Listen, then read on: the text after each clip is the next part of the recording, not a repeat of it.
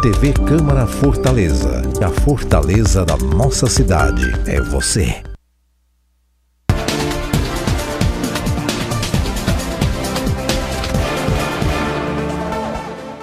Olá, boa noite. Hoje é sexta-feira, dia 20 de janeiro de 2023 e está no ar, a partir de agora, a segunda edição do Direto da Redação com as informações do parlamento e as notícias de Fortaleza. A gente já começa falando sobre a probabilidade de chuva durante o inverno deste ano.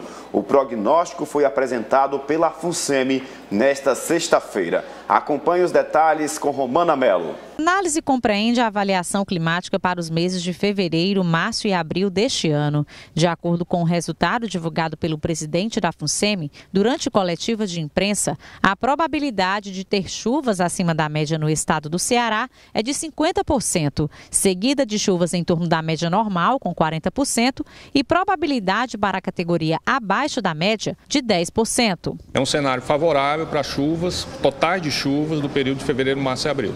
A gente tem uma observação sobre o mês de fevereiro, que ele é um mês que fica na normalidade, na faixa normal, é, embora um pouco, o valor um pouco abaixo da média, do valor pontual da média histórica. Né?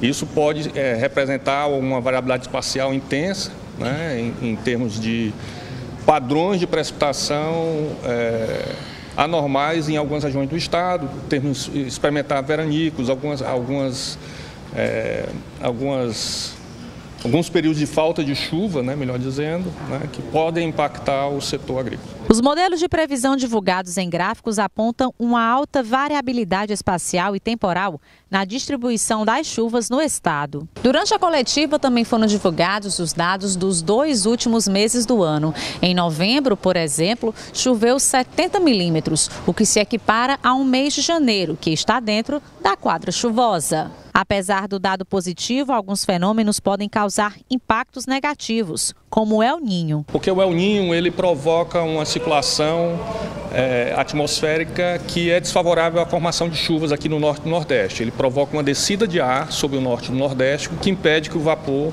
é, suba para a atmosfera para a formação de nuvens. O secretário especial para assuntos federativos citou a importância de soluções eficientes para sanar os problemas provocados pela seca no estado. Há muitos anos, o governo do estado do Ceará tem um grupo permanente de integração de todas essas instituições aqui presentes. Então, FUNSEMI, juntamente com SOIDRA, com o COGÉ, fazem um sistema de recursos hídricos com a Secretaria de Recursos Hídricos.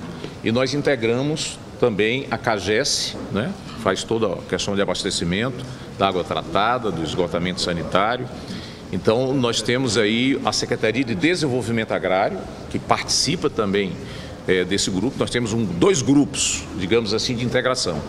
O grupo de contingência, que se reúne semanalmente, para fazer uma análise do estado do Ceará, onde é que nós temos problema de abastecimento, onde é que é preciso priorizar construção de adutora, poço profundo, tudo isso é visto por esse grupo de contingência. Desde quando começaram a cair as primeiras chuvas do ano, a Prefeitura de Fortaleza vem intensificando as ações para reduzir os impactos das precipitações pela cidade. Um plano da Operação Inverno já foi reforçado e apresentado para a população. Diversos órgãos participam das ações que visam minimizar os impactos causados pelas chuvas na cidade.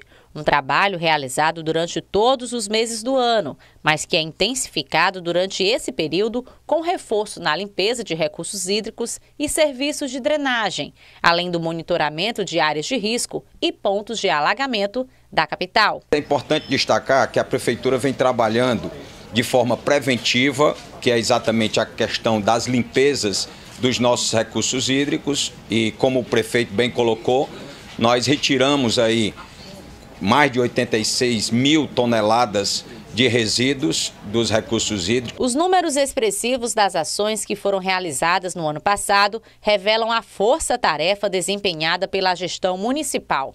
140 canais e lagoas foram limpos de maneira manual. 9 mil bocas de lobos foram desobstruídas. 11.826 árvores passaram por poda ou recolhimento 1,1 milhão de metros quadrados de pavimentação e calçadas foram recuperados em 1.080 vias da cidade. Para minimizar os impactos no tráfego, a Autarquia Municipal de Cidadania e Trânsito vai atuar próximo a colisões ou possíveis desvios. Ela vai alterar, por exemplo, o horário de funcionamento de alguns sinais próximos a esses locais.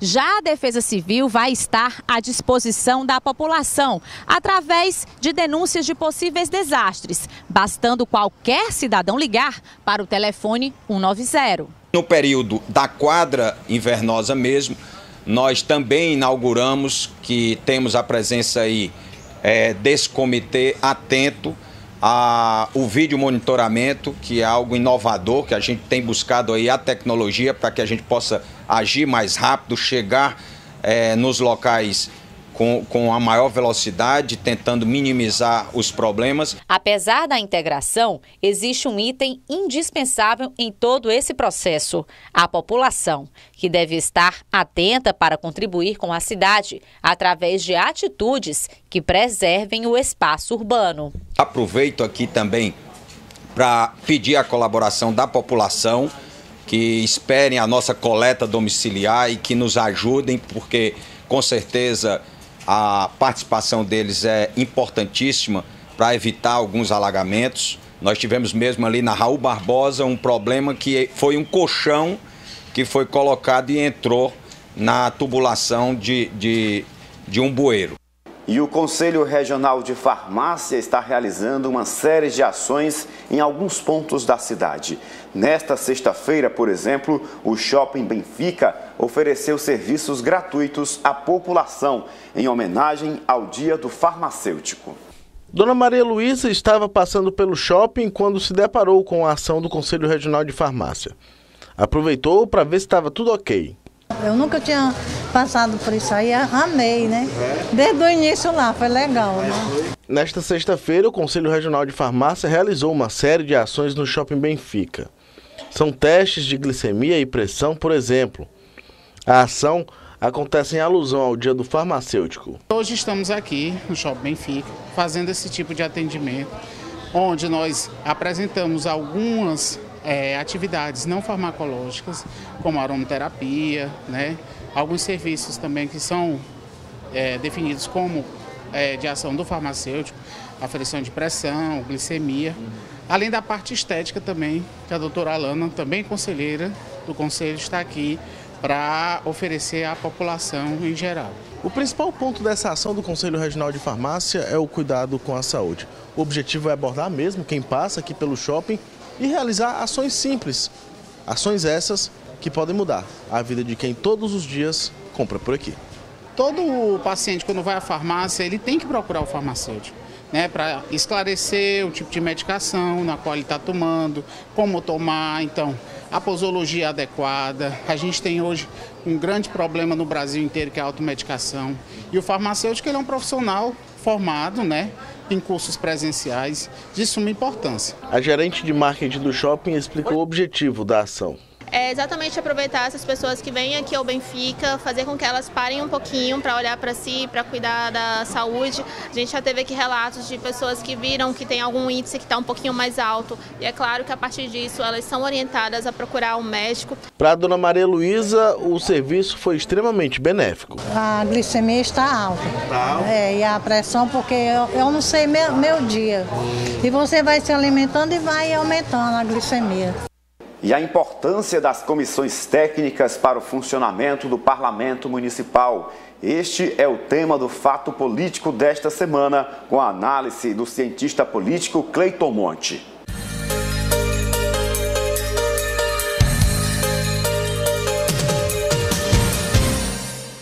Olá, como vai? A partir de agora você vem junto comigo discutir os principais fatos que mexem com o mundo político de Fortaleza.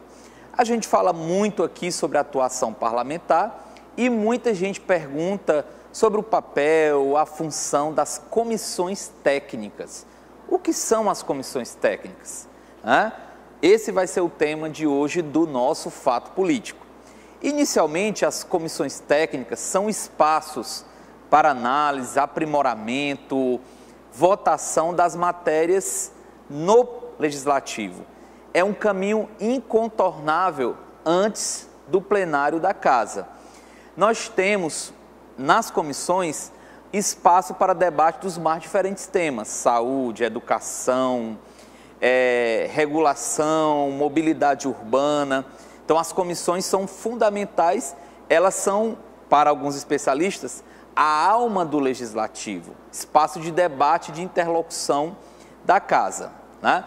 As comissões técnicas, elas funcionam, como é que você é nomeado para essas comissões? A partir do critério de proporcionalidade partidária, de vinculação prévia do parlamentar, você tem um parlamentar que antes de ser eleito tem uma ligação com a educação, com a segurança, com a saúde, ou mesmo o desejo daquela liderança de contribuir com aquele tema. Na Câmara Municipal de Fortaleza, nós temos 12 comissões técnicas permanentes, porque também nós temos as comissões provisórias. Das 12 comissões técnicas permanentes, você tem aquelas que são mais destacadas, as mais importantes, no sentido de que passa por elas a maior parte das medidas, as medidas de maior impacto, aqui no caso, para o município. São duas as comissões, de Constituição e Justiça e de é, Orçamento, Finanças e Administração Pública. Essas duas comissões, elas dão maior visibilidade ao parlamentar, muitas das suas deliberações são acompanhadas pela comunicação institucional e, de certa forma, interferem na vida de outras comissões, de outras frentes da, do parlamento. Qual é o principal problema, a maior dificuldade das comissões técnicas? Não apenas em Fortaleza, mas no Brasil de uma forma geral. É a participação social. Apesar do regimento interno garantir a inserção, o debate com os movimentos, associações, coletivos, nós temos ainda uma baixa participação da sociedade civil nos grandes debates que ocorrem nas comissões técnicas. Então, esse canal, ele é fundamental, ele deve ser fortalecido para que a população possa se sentir parte do legislativo. E aí nós temos várias propostas, várias experiências no Brasil afora, é, de medidas com relação a proposições, acompanhamento, e aí a internet ajuda muito nesse sentido, para tornar as comissões mais ativas, mais dinâmicas, mais plurais e democráticas. E para você que quer realmente entender o legislativo, acompanhar a democracia do município, não deixe de acompanhar o dia a dia, o cotidiano das comissões técnicas permanentes. Ela dá muito, ela diz muito, ela indica a qualidade dos debates, ela indica realmente é, como o legislativo ele pulsa na cidade de Fortaleza. Ok? Grande abraço e até a próxima.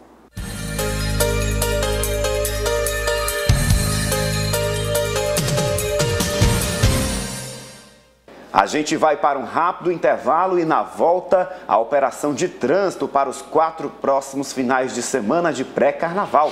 E ainda a movimentação nos barracões dos Maracatus para as apresentações na Avenida Domingos Olímpio. A gente volta já já. Vem, Fortaleza, vem, vem pra cá, voltinha na beira-mar. Sabor da terra, um som dançar, vem, Fortaleza. Sorriso, romance, curtição gigante, um calor viciante. Noites baladas, várias risadas, vem, Fortaleza, vem, vem, vem pra cá, vem, Fortaleza, vem, vem, vem pra cá,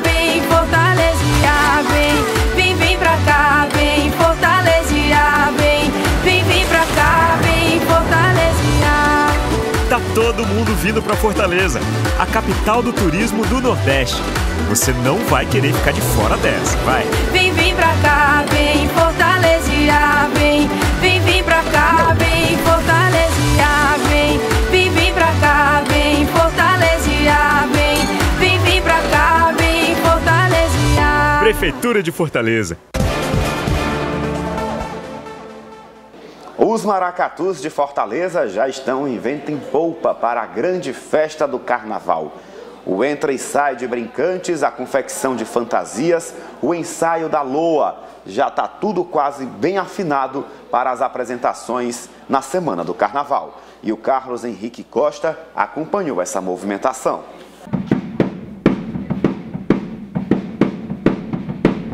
O Batuque começa a anunciar. O carnaval está chegando, por isso a preparação segue a todo vapor. Este é o Maracatu Solar. Um dos fundadores é o artista Pingo de Fortaleza, que explica que o trabalho nunca para. Ele só se intensifica quando o carnaval se aproxima. E estamos fazendo uma série de atividades, né, é, cotidianamente, rodas de conversa, oficinas, ensaios, apresentações. Então, essa parte do cronograma já está pronta, a parte do tema, da música, é, do arranjo da música, né, o desenho da camisa, essas coisas. Os, a parte de instrumentação, os instrumentos estão quase todos reparados, feitos, comprados ou refeitos, né, porque durante o tempo eles se desgastam, pele, corda, baqueta, etc. A parte das fantasias ainda estão em processo, quer dizer, ainda é um processo, porque é um trabalho muito grande, nós temos praticamente 250 brincantes, então demora as coisas a ficarem totalmente prontas, mas eu tenho certeza que estaremos prontos. O trabalho aqui é desde o ajuste de fantasias até de instrumentos musicais que precisam de sua manutenção constante. Registrado pela Prefeitura de Fortaleza pela importância cultural que tem para a cidade, o maracatu cearense sempre é destaque no Carnaval da capital.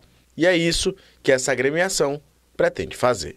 No Carnaval faremos um trabalho muito bonito na Domingos Olímpio, mas também em outros espaços, que vamos nos apresentar no Benfica, nós temos uma agenda já de, de shows no Dragão do Mar, no Centro Cultural BNB, e eu acredito que a gente vai fazer um trabalho empolgante, porque o Solar realmente é um maracatu muito alegre, muito feliz, que leva essa esperança e essa alegria para todos. Para este carnaval, o Maracatu Solar traz um tema que reflete sobre os dois últimos anos difíceis que passamos por conta da pandemia.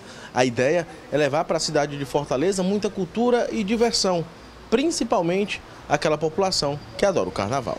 O carnaval, que é o grande momento da cultura brasileira, multicultural, é onde tudo cabe, é onde tudo, tudo se comporta, é um, é um tempo extenso e um tempo que acolhe todos, né? Então, são, então acho que a população brasileira sente isso, sabe? Da importância do carnaval enquanto complexo é, é social e cultural e também econômico, né? Movimento, então é preciso que a população, a população tem essa, essa, já tem essa compreensão e a gente está sempre cobrando que os poderes públicos, as gestões tenham compreensão também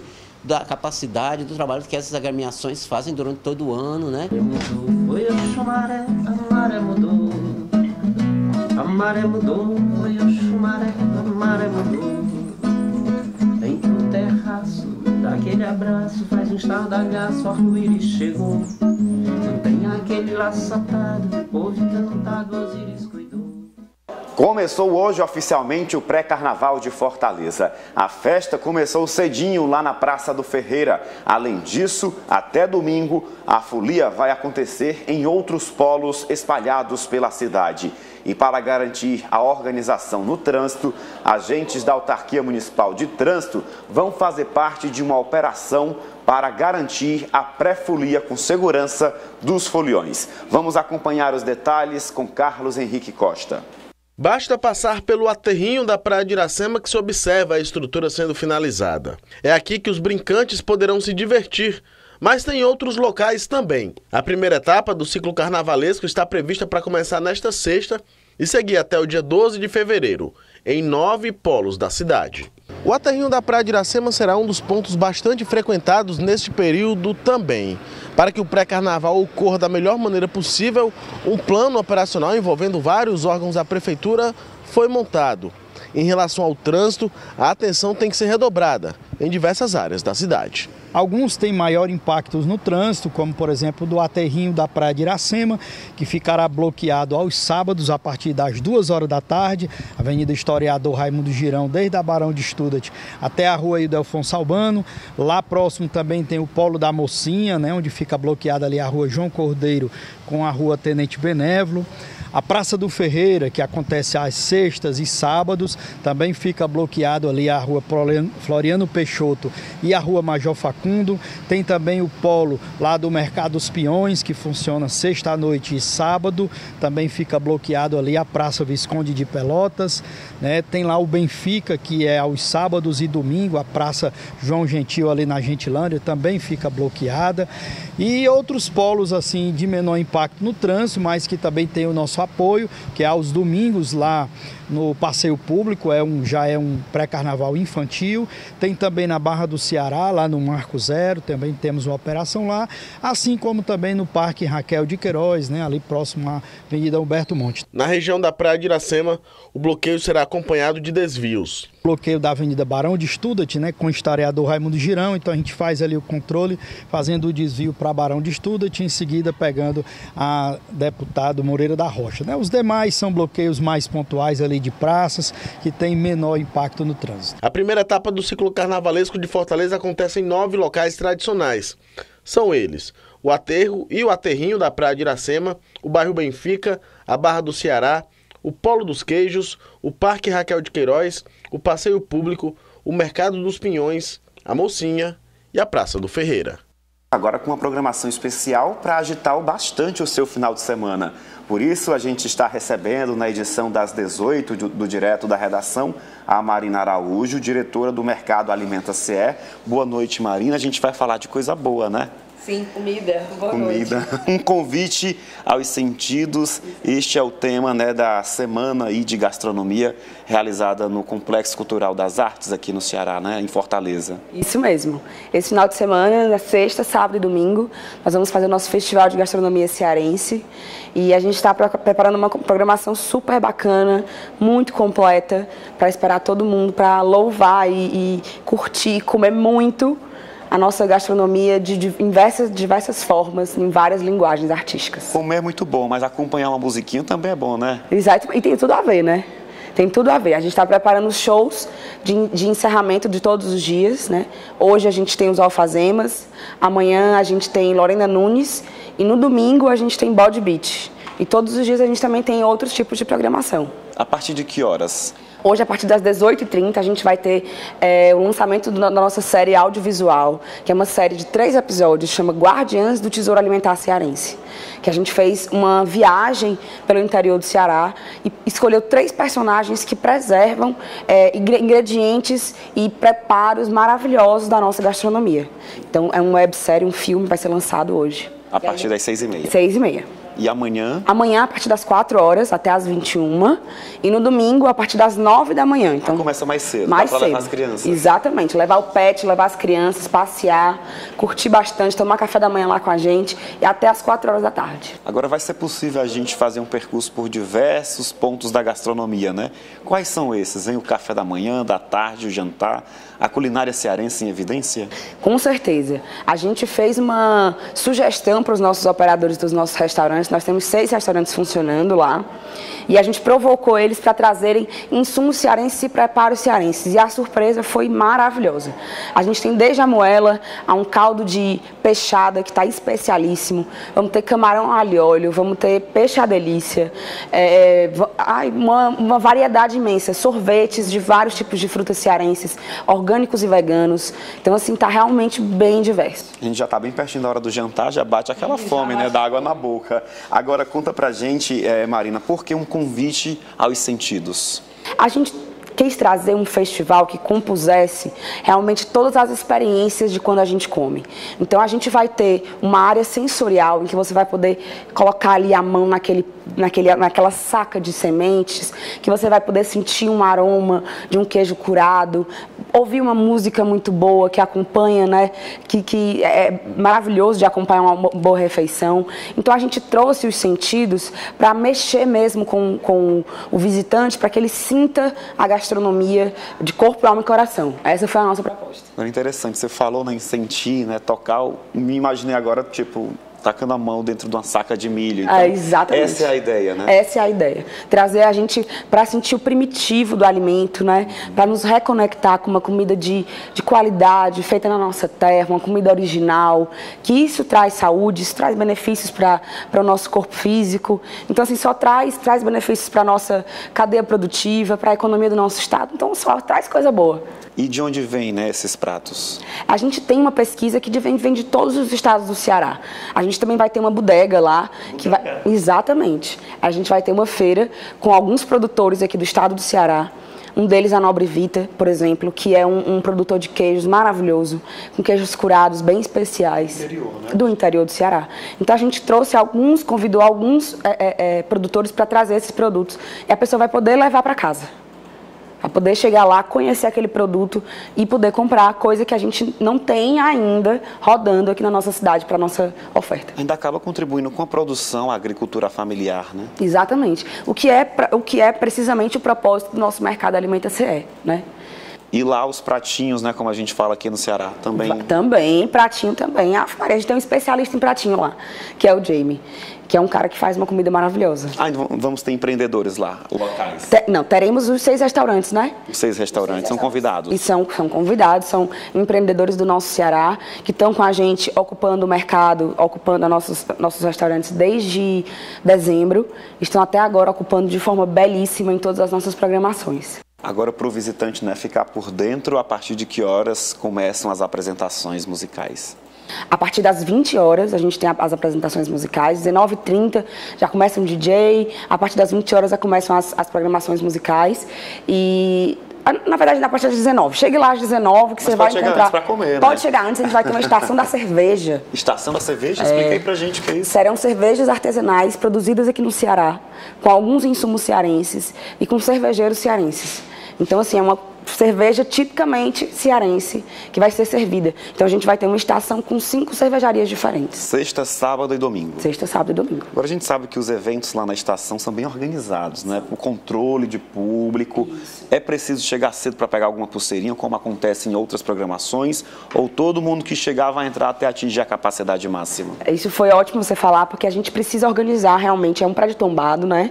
Então, chegar cedo para garantir a lotação máxima de 1.500 pessoas pessoas, para a gente garantir o conforto de todo mundo, acesso aos banheiros. Então chegue cedo, consiga a sua pulseirinha e aproveite esse momento maravilhoso. E onde a gente encontra a programação completa? Nosso Instagram, arroba Mercado Alimenta CE. Lá tem toda a programação descrita, com a programação infantil que a gente vai oferecer, com as programações musicais e tudo mais. Vamos explicar o que é o Mercado Alimenta CE, né? Com todo prazer. O Mercado Alimenta CE ele é um equipamento público ligado à Secult Ceará, gerido em parceria com o Instituto Mirante, que a gente tem o foco de fomentar a gastronomia cearense e a cultura alimentar. Então a gente trabalha tanto no braço de fomento ao negócio, de fomento ao pequeno produtor, como a gente trabalha no braço conceitual, né, que é no fomento e na preservação da cultura alimentar cearense. Então a gente tem é, é, um trabalho de fazer pesquisas, encontrar aquele produtor é, trazer para ele uma melhora naquela produção dele, no produto, às vezes é um acabamento de rótulo, às vezes é uma apuração mesmo na, na própria produção. E aí com isso a gente consegue conhecer a história dele resgatar é, é isso para um catálogo de memória da nossa cultura alimentar. E o complexo da Estação das Artes, né? Muita gente não conhece ainda, vamos reforçar para todo mundo ir lá conhecer, Exato. porque está muito bonito. Lindo, é muito especial, é um lugar muito bonito. É na nossa antiga estação de trem João Felipe, na Praça da Estação, foi toda revitalizada, então o complexo da Estação das Artes é ali, lá funciona o Centro de Design, a Pinacoteca, o nosso Mercado Alimenta CE, brevemente o Museu Ferroviário e o IFAM. Perfeito. E até o dia 22 tem o Festival de Gastronomia. Vamos só reforçar mais uma vez e convidar para quem está em casa. Dá tempo ainda hoje, sexta-feira. Sim, dá tempo. A partir de hoje, sexta-feira, amanhã e depois, sábado e domingo, nós vamos ter o nosso Festival de Gastronomia Cearense do Mercado Alimenta CE. E a gente espera todos vocês para esse momento maravilhoso. Perfeito. Muito obrigado. Obrigada, querido. Pela sua participação. Lá. Parabéns pelo trabalho da Estação das Artes. Gratidão, obrigada. Amanhã eu vou dar um pulinho lá, porque eu quero provar o peixe à delícia. Muito bem, me procure que eu vou lhe servir. Perfeito. Obrigada. Muito obrigado ótimo final de semana. Parabéns a todos que compõem aquele equipamento tão importante para a nossa cultura e para a nossa gente. Muito obrigada, gratidão. E a gente vai ficando por aqui. Obrigado pela sua audiência, mas está de volta na segunda, a partir das seis da noite. E é claro que a gente vai encerrar, né, com o ritmo do carnaval, o araqueto tocando para você se agitar já bastante a partir das oito da noite na Praça do Ferreira também, na abertura oficial do pré-carnaval aqui de Fortaleza. Um ótimo final de semana, boa noite